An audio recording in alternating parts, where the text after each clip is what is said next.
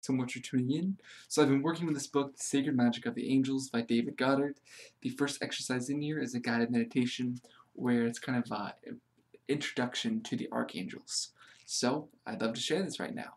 So everyone please just kind of sit back in your chair, get really relaxed, make sure you're going to be undisturbed, um, and just kind of start a slow rhythmic breathing. I'm going to go ahead and read through the meditation for you. This interior journey may be used as a means of introduction to the teaching angels if you have not worked with them before. Make sure you will be undisturbed, breathe deeply and rhythmically, but without any strain.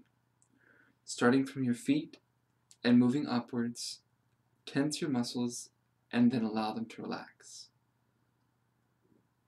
And also just visualize like a swirling golden energy swirling underneath your feet, completely calming and relaxing you.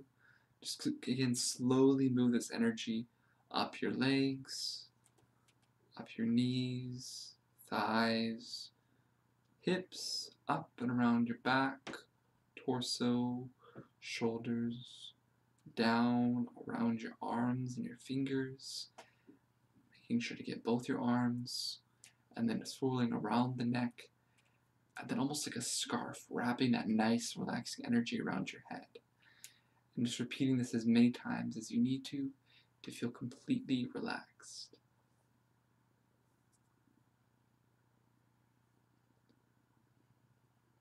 When you feel tranquil, begin to picture the images of this meditation, allowing them to acquire clarity and three dimensional vividness.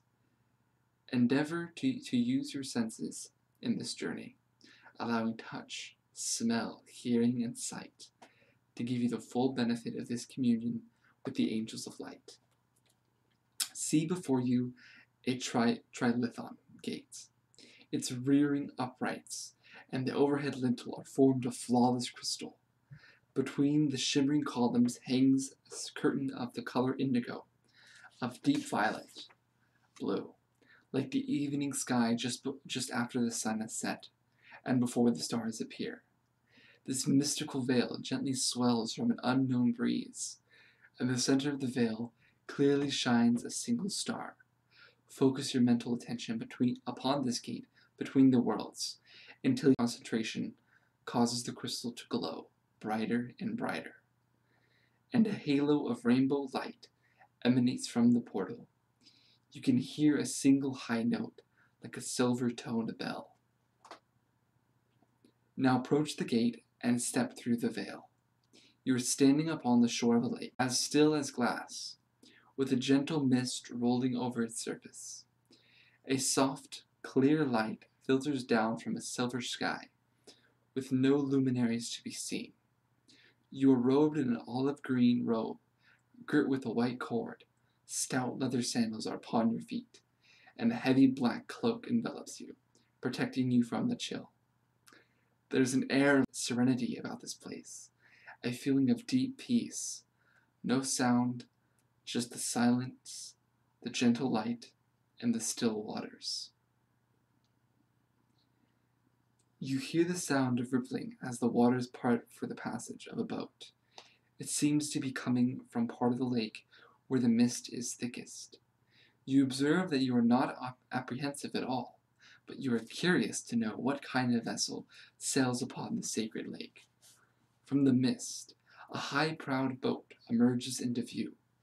It is formed of an ancient, seasoned wood, and the rim of the hull is carved with letters of gold, in a language you don't recognize, but which provokes a strange resonance within you. The tall prow is carved in the likeness of a hand holding a lamp, and in the lamp burns a clear violet flame.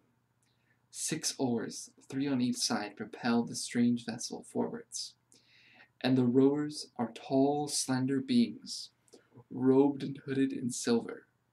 As the vessel draws in, it turns and you look along its length. Near the stern is a high wooden seat. It is empty, the boat ceases to move some ten feet from the shoreline. The oars rest. The silver clad beings rise and look across to you. Silence falls again, and the lake returns to its former stillness. You feel somewhat embarrassed as the silence deepens and nothing appears to be said. Perhaps, you think, these beings can't speak. Tentatively, you reach out with your feelings, seeking to convey that you come as a seeker for the light. As soon as your heart center stirs to reach out to the silver clad beings, you can feel their welcome flooding into you like a starburst of joy. With their greeting that transcends speech comes the knowledge that they have come far to meet you. They started out towards you the instant you decided to undertake this journey through inner space, but they cannot, may not, approach any closer to the shore. You must somehow go to them, cross this last space that separates you from each other. You must decide now. Do you wish to go on to the temple of the high servants of the One, or is it too deep of an undertaking? What do the still waters before you hold beneath their seemingly placid surface? What do you really know about the strange hidden beings in their fantastic boat, so close and yet a lifestyle away? And the depths of your being weigh your heart. If you feel doubt or dread, then with that self knowledge pass back through the indigo veil in the crystal gate, back to the ways of sleeping humanity. There will be other opportunities of the great journey to retrace your steps to this shore. If, however, your heart burns within you, if your soul hungers for that which alone endures, then step forward into the waters. Now decide. You place one foot into the cold waters, feeling the lake bottom beneath you. You take it another step and another. The waters are now about your knees. You suddenly realize that the waters are wonderful. The touch of the still water fills you with profound peace. Waters soothe away unhealed pains and hurts like rain upon a desert. They feel the deep places of your soul and melt away all hardness. In wonder, you kneel down in the waters, letting them rise to your shoulders. Then you bow your head and they wash over you. You emerge from the waters like a dolphin, leaping with joy. Your senses are heightened, expanded in clarity, and you see upon the surface of the waters remaining between you and the boat a path formed of golden light it comes from the vessel, from the glorious beings you now see upon its deck. Tall, bright, and serene figures row with, winged with lights, their eyes ablaze with endless joy, bent upon you, and their armed, arms outstretched towards you. You float upon the waters. The angels lift you up onto the golden pathway. You see that your robes are now snow white, with your sandals are formed of woven grass, adorned with summer flowers. Without being aware of moving, save as a soft wind, you find yourself abroad, encircled by these living embodiments of love. It is akin to being reunited with old friends whom you have always known, but have forgotten for a while. It is a sense of completion, the close proximity of the angels clarifies your mind, invigorates and stimulates your aura. Communication is unimpeded and rapid now, for your basic vibration rate is now quickened by these beings of light.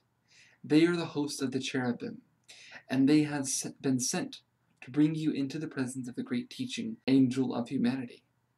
The boat turns about. The six oars rise and dip into the still waters and it glides forwards like a swan towards the pearly gray mist. As the vessel enters the mist, your vision becomes limited, seeing less and less until even the sides of the boat disappear. As the mist thickens, the angels seem to vanish. For a moment, you are on the verge of heartbreak. Have your newfound companions gone? Have they only found you to be, to be lost so soon? Look to the prow says a mind touch. You can still see the violet flame burning clear and unobscured. You open out with your inner senses. You find the presence of the angels caressing your mind, letting you know that although they may not always be in sight, they are always there if you call. The mist ahead begins to thin. You see a faint golden haze ahead, to which the bark unearily sails. The vessel emerges into the warm golden light. All around are the still waters, but now reflecting a gold sky that shines clearly upon all with the beauty of sun and the softness of the moon. You notice that there are bright points of light hovering, flying, and swooping in the golden sky. Your angelic companions begin to sing high, pure, like temple bells, a paean of joy. You realize they are communing with the, with the flying lights, which in response draw closer, singing too as they approach. Now you can see that they are also angels, unbound by any limitation. They soar in the light of the endless day. Some are bearing cups, chalices, and they swoop down to the surface of the glass-like lake, hovering like celestial dragonflies. They fill the chalice from the lake and fly up from the sight like comets. Your curiosity is aroused. Immediately in answer, one of the cherubim explains, These are the ministers of consolation. In answer to true prayer, they bear the cups filled from the still waters to those who suffer or have need. Have you not realized yet what these waters are? Look to the depth of the lake.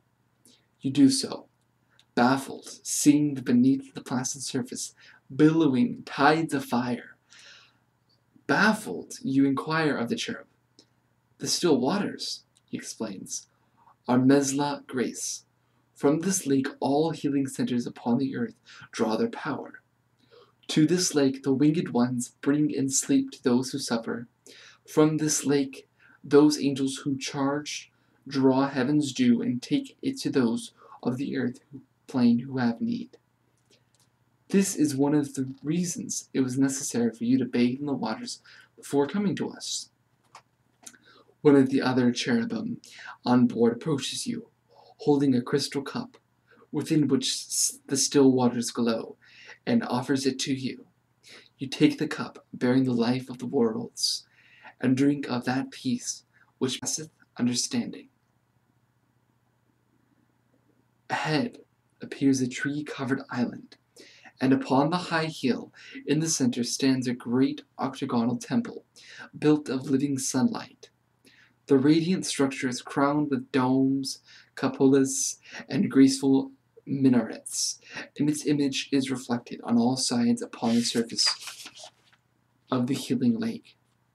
The boat approaches, and draws in by the mystic isle. A warm breeze comes off the island, bearing the scent of laurel and frankincense trees that adorn it. You can see no path and wonder how you will reach the temple. There is a sound like the cadence of wind chimes. You, you thus learn that the angels do laugh. Smiling two of your companions place their strong arms about your waist, spreading their great wings, and rise with you up into the air. The other four cherubim accompany you before and after, singing again. With this joyous escort of angels, you are flown up to the hill, over the temple's entrance. Through a high-placed rose window, you set down onto the mosaic floor of the sanctuary. The temple is vast. It soars up almost beyond sight. Inside the golden walls are the, are the color of sun suffused amber. In the east is a great seven-branched menorah, the lamp of the Elohim. Each cup alight with one colored flame, the seven making the spectrum of the rainbow. It is flanked on one side by a pillar of jet, and upon the other by a pillar of diamond. In the center of the pillar, upon a dais of four steps, is a simple white cubic altar. Its simplicity stark in this glorious Upon the altar, bathed in a shaft of gentle starlight, is a, a golden yellow rose, upon which gleams a, sin, a single drop of dew from the first dawn. The six cherubim form a semicircle around you and behind you. The descending shaft of starlight brightens, and a great voice cries, Michael! A column of gold salmon light, some twenty feet high, appears by the altar. Gabriel, Samael, cries the voice. Two great columns of silver and blue, the other of fiery scarlet, flank the first column. Again the voice, Raphael, Sachiel, Sariel. Three more bright columns join the first one, a vivid yellow, one violet purple, and one of sea green. For a third time, the voice fills the temple. Haniel, Cassiel, Uriel. Another trinity of luminous beams joins the first six. One of the gentle rose and turquoise, one of the deep greens and blues. On the third, brilliant as frozen lightning, the nine resplendent columns are about the altar. Great chords of music are heard, and the rapid flashes of color pass between them as they speak to one another. The attending cherubim brighten, as if in response to the presence of the great angel lords. The voice speaks again, calling you by name. You step forward, awed by the great varicolored columns of force. The columns begin to move from the altar, sweeping around you, as if examining you. Each column brings a different emotional response from you. After a while, your sense of awe is replaced by pleasure at the beauty of these great lights. You feel the mind touch of Raphael first. Your consciousness tingles at his mental touch. Greetings, child of earth. My brethren and I are pleased that you have won through to this place. We were appointed by the Ineffable One to help instruct your species for its return journey to godhood.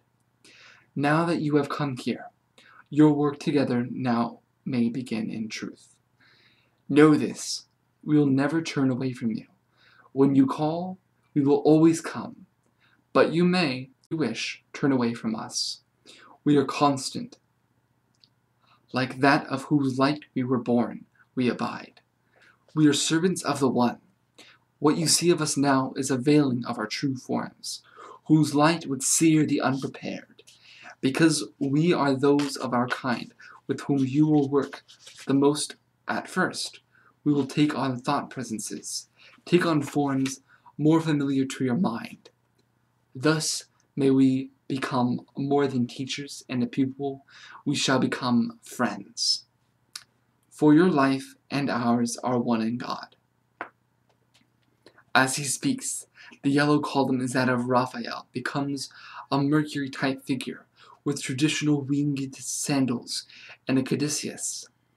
Only the wide slanting eyes retained their angelic characteristics. The purple column of Sachiel forms into a violet-clad kingly figure of great benevolence. Gabriel appears as a Grecian athlete in a blue-silver trimmed chiton.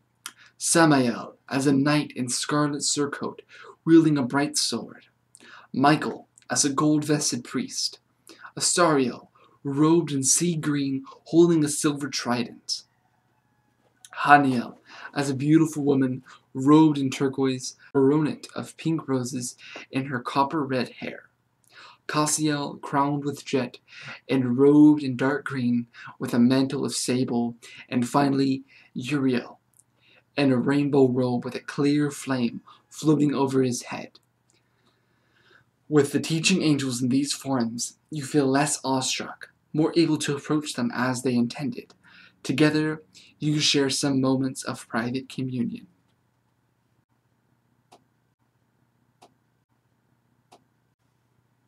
Then, Uriel gives a sing signal to his eight brethren. You draw back, and they resume the appearance of high columns of coruscating light. They form a ring about the altar, and they begin to circle it, faster and faster, until you can no longer identify separate columns as they merge, creating a great vortex of colored light. They stretch upward, growing brighter in intensity and power. Then they are gone. And where the altar stood is now the crystal gate between the worlds. With its veil of indigo, adorned with a single star, you make your farewells to the cherubim, who crewed the barrack with the intuitive knowledge that you will meet again. You approach the crystal gate. The indigo veil billows up and opens. You step through the gate, poised between the worlds, hearing Raphael's voice again. When you call, we will come. You have traveled far and deep, becoming aware of the weight and warmth of your physical body, the air in your lungs, the moisture in your mouth.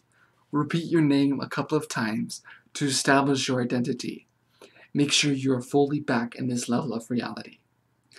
Make sure you have a warm drink and a biscuit or sandwich to help you close down.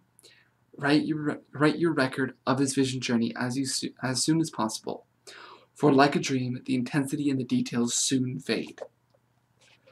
Wow, that was wonderful, wonderful, wonderful. Just reading it, I can feel the energy. Um, my hands are buzzing with energy. Um, I'm just, I'm like, I'm like on fire right now. Like, I'm, I'm just like burning up. I need to like take off my jacket and turn on the AC or something. Oh, that was, that was spectacular, spectacular, spectacular. Um, so wow, yeah. I hope you guys enjoyed as much as I did just by reading it.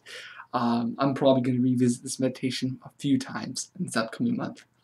Thank you so much for, for tuning in. I hope you have a blessed, blessed week.